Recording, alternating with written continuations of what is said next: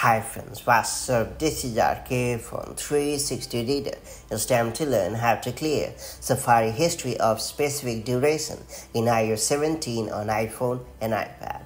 The iOS has provided a simple way to delete Safari history for a long time. It lacked the functionality to get rid of the browsing history of a specific duration.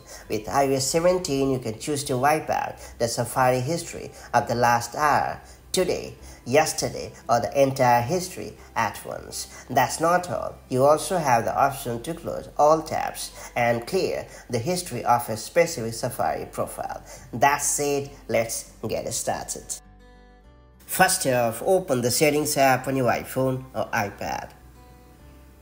Now scroll down and select Safari. Then tap on Clear History and Website Data. After that, select the specific durations such as last hour, today, today and yesterday, and all history, depending on your needs. Moreover, you can also choose the Safari profile with history you want to clean up.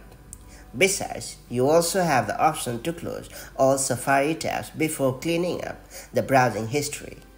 And finally hit clear history at the bottom of the screen and you are good to go and that's pretty much it. So that's how you can clear Safari history of specific duration in iOS 17 and iPadOS 17.